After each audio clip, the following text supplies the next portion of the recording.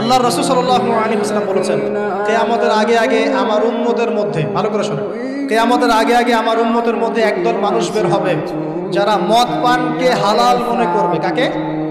মদ পান করাকে হালাল মনে করবে, যারা বাদ্যযন্ত্র, গায়িকা, নায়িকা এগুলো নিয়ে নর্তকী নাচাবে রাতের বেলা, এগুলোকে হালাল মনে করবে। যারা অশ্লীলতা, বেহায়াপনাকে জায়েজ করে নিবে। ঠিক আছে, এরকম কয়েকটা পাপের কথা বলে নবীজি বলছেন একদিন